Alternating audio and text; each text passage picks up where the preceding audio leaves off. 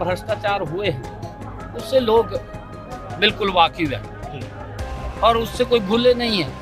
कांग्रेस के समय के अंदर ही मैं अभी मंच से भी बोल रहा था कि देश नहीं भूला है, देश जानता है कि गैस का सिलेंडर लेने के लिए भी तीन दिन हमें लाइन में खड़ा रहना पड़ता था। भयानक सर्दी में, बरसात में, गर्मी में क्या हालात होते थे?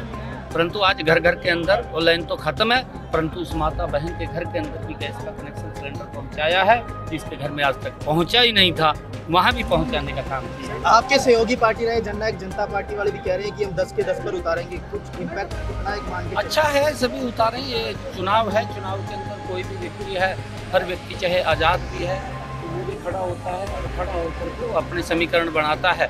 परंतु जो काम नरेंद्र मोदी जी की और मनोहर लाल जी की सरकार ने हमारे इस टेन्योर के अंदर किए हैं, वो ज़बरदस्त डबल इंजन की सरकार ने काम किए हैं और उसका लाभ नीचे तक वो मिल रहा है। लोगों के अंदर एक बड़ा उत्साह है, जोश है, क्योंकि विकसित भारत जो संकल्प यात्रा गाँव गाँव के अंदर गई थी, पहली बार हमने देखा था कि उस यात्रा के माध्यम से नहीं तो कांग्रेस के लोग वोट ले लेते थे प्रलोभन दे करके और वोट लेकर के फिर गरीब व्यक्ति सरकार को ढूंढता था। परंतु आज नरेंद्र मोदी जी के नेतृत्व के अंदर सरकार गरीब व्यक्ति को ढूंढ करके सरकार की योजना के साथ जोड़ने का काम कर रही है। लोगों के अंदर बड़ा जोश है उत्साह है और बड़े मैंडेट के साथ। मैं आपको बताना चाहता हूँ चौधरी रणजीत सिंह जी यहाँ से वोट जीतेंगे और जीत करके नरेंद्र मोदी बड़ा मार्जिन जाने का कोई इम्पैक्ट आपको लगता है लॉस लगता है कोई?